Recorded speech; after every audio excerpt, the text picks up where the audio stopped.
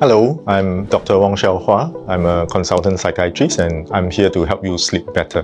How do we adjust our sleep schedule uh, following a changing of shift? There are largely three steps that one can do simply. Number one, if you know that your shift change is coming up soon, you could start by progressively shifting or delaying your sleep a little at a time each day until the shift change occurs.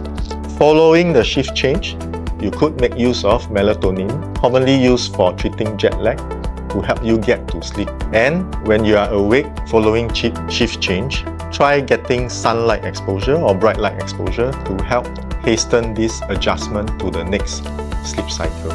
If you're having trouble getting restful sleep, consult your doctor early. Don't let it become a chronic problem. Sleep well.